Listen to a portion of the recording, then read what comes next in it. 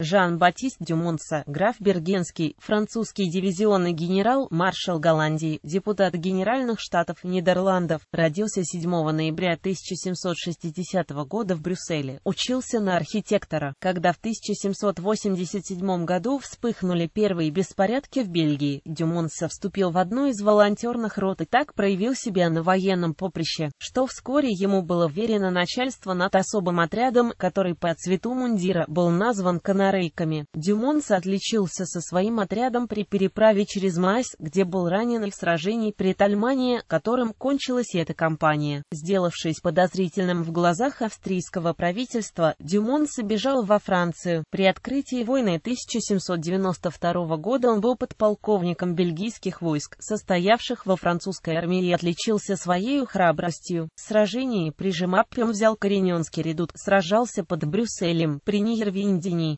истребил голландский отряд между Лиллем и Турне и в первой половине 1793 года был уже бригадным генералом. Ему генералу Ренье приписывают план завоевания Нидерландов, исполненный впоследствии Пешегрю. Дюмонс разделял славу этого генерала, был первым комендантом Амстердама и на этом посту успел снискать уважение голландцев так, что новое батавское правительство предложило ему вступить в свою службу. С согласия французов, он в 1796 году перешел в голландские войска генерал-лейтенантом и когда в 1799 году русские и англичане сделали высадку в Голландии сражался против них, в особенности отличился в битве при Бергене. В 1800 году Дюмонса был начальником батавского контингента в Франконии и управлял осадой Мариенбургской цитадели при Вюрцбурге. 13 июня 1803 года назначен главнокомандующим голландской армии. В 1805 году Дюмонса было поручено преобразовать голландские войска. Справившись с этой задачей, он потом начальствовал Батавской дивизией, которая долженствовала участвовать в высадке французов в Англию. По преобразовании Голландии в королевство, король Людовик Наполеон назначил Дюмонса посланником в Париж, но в 1806 году вернул его в армию и возвел в достоинство маршала. После похода 1806-1807 годов в Померанию, где Дюмонса действовал против шведских войск, он был назначен членом Государственного совета и государственным канцлером по военным делам. В 1809 году он действовал против англичан, сделавших высадку на остров Валхерн. В 1810 году получил титул графа Бергенского. По присоединении Голландии к Франции, Наполеон 11 ноября призвал его к себе, возвел в достоинство графа Франции, пожаловал орден почетного легиона, дал чин дивизионного генерала и 17 декабря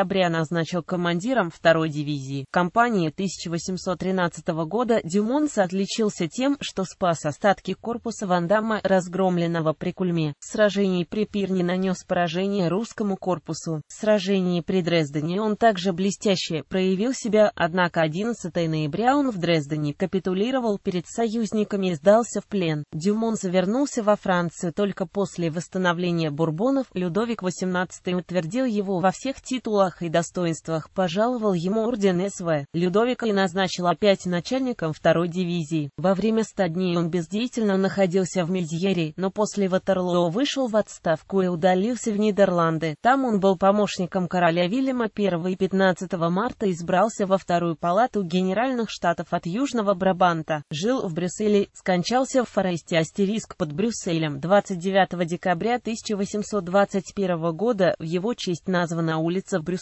Французские, бельгийские и голландские графы Дюмонса являются его потомками. Источники. Военная энциклопедия. Портрет. ВФ Новицкого и ДР СПБ. ТВ Сытина. 1911-1915. Военный энциклопедический лексикон. Второй лист. ТВ СПБ. 1854. Залесский К. Наполеоновские войны. 1799-1815. Биографический энциклопедический словарь М. 2003. Чарльз Малли. Биографии Дес Силбрайтс Милитейрос Дес Армис де Терререт де Мерде 1789 1850 1852 Вол 1.